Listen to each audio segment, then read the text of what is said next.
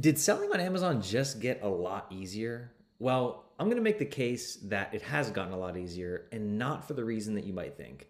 There is no new AI feature with Amazon. They didn't roll out some new app or some new feature. Nothing has actually changed with Amazon, except in this video, I'm going to show you a five step process, a basic five step process that our team at yourAMZ has used with dozens of real brands that own their trademark to go from launch all the way to very scalable profit. And some businesses have even exited and sold.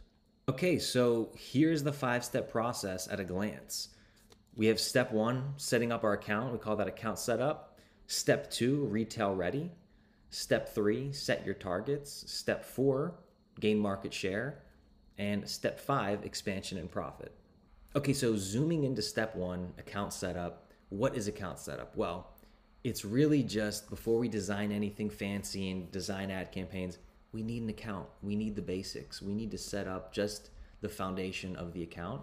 And if we kind of double click into that, um, here we can see there's five sub steps to step one. So we need to create our account. We need to enroll in brand registry. We need to just create the listings, not necessarily design them, but just create the listings. We need access to premium A plus content, and then we need a framework for staying in stock. And that's pretty much it for step one. Okay, now, so step two, retail ready.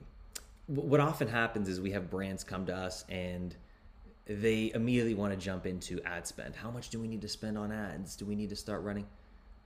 We tell them pause, right? Let's look at your listings. Are you retail ready, right?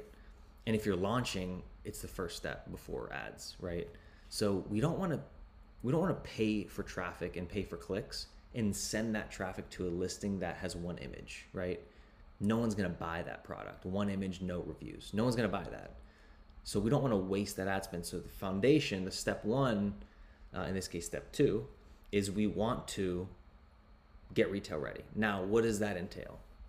That entails we need intuitive variation. So if you have, let's just say you have um, 30 parent products and they each have two variations, so 60 total child listings. We want to make sure that we're simplifying it and maybe having 30 parents instead of, you know, three parents with like 20 variations on each listing. It's going to be too confusing to the customer. So we want to make sure we intuitively organize our product catalog and make those variation structures within Amazon. Now, that's going to guide our listing design and how we design these different parent products and the variations. So we're going to design our listings.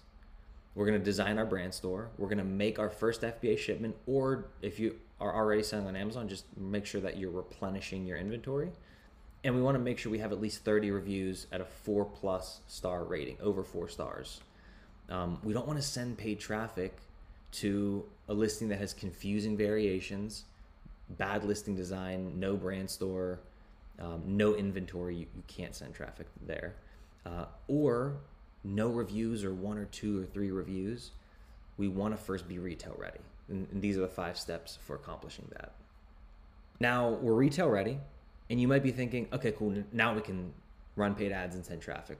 Not yet. We have a we have a short step three, set your targets, where we want to understand what is our goal, right? Do we want aggressive growth? Do we want sustainable growth? Or do we really just want to focus on profit? Right? Those are kind of the three goals. And I'll show you a little visualization here of what that looks like. Okay, so here we have our three potential goals visualized. So aggressive growth, sustainable growth, and a focus on profit.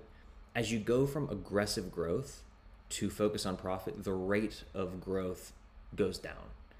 And why is that? Well, the more you reinvest your profit into advertising, the faster you're going to grow. So if you have a focus on profit and you want to maintain a 20 to 40 or 20 to 50% margin depending on your product, you're not going to be reinvesting that money into advertising, new targeting, new audiences. So you're going to have less exposure. And that's okay if that's your goal, right? But if you want to aggressively grow your revenue, right? Maybe you're launching, maybe you're just trying to get your revenue high you might be running at break even. You might be running at a 0% profit margin because you're reinvesting all of your profit back into advertising.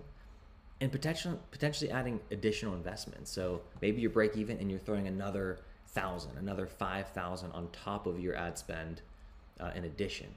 Sustainable growth is you're keeping some profit in the business. You're keeping five to ten percent of your um, profit in the business. Everything else is being reinvested into ads so that you can grow, but you can grow profitably. So we want to define our goal, and that's going to help guide kind of some realistic expectations for what you know what are we going to do with our ad strategy right? First we need to understand our goal and then our goal is going to help drive metrics. Okay so in step three you can see there's three sub steps define your goals we just talked about. Define your metrics. Again um, there's different metrics based on what your goals are. So if your you know if your goal is to focus on profit you might be looking at different metrics than if your goal is to aggressively grow revenue. First, define your goal, define your metrics, and then once you know the metrics that you need for your specific goals, we need a method for tracking those metrics. So having a dashboard, paying for a service that helps track those metrics automatically is going to be super useful as you go into step four and step five.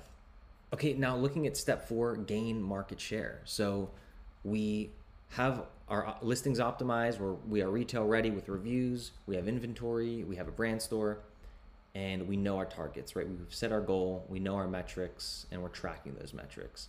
It's time to start spending on ads. This is the exciting part.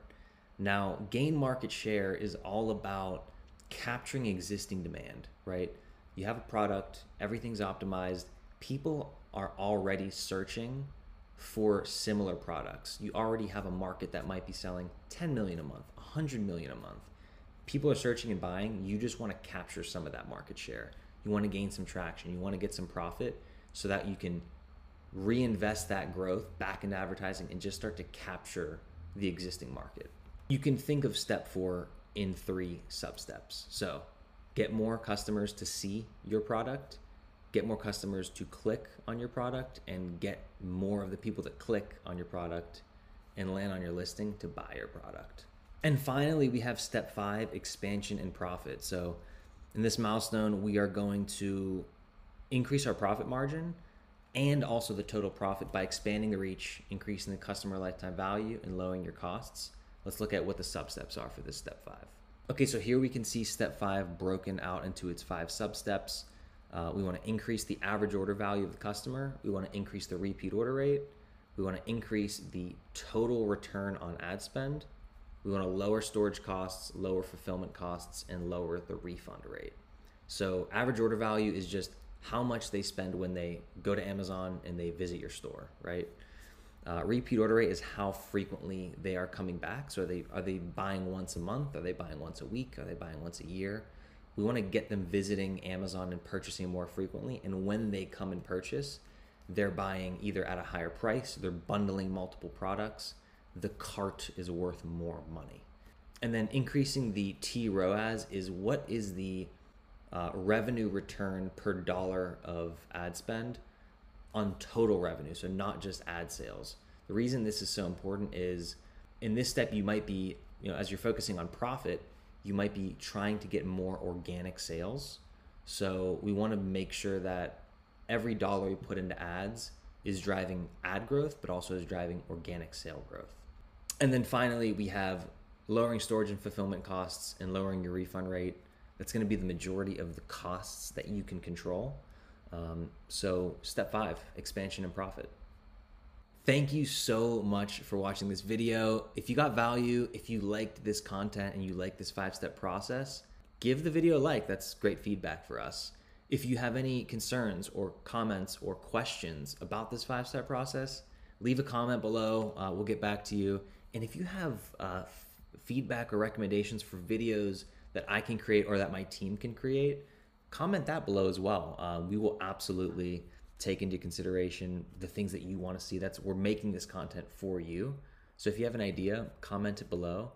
And again, thank you so much for watching. I will see you in the next video.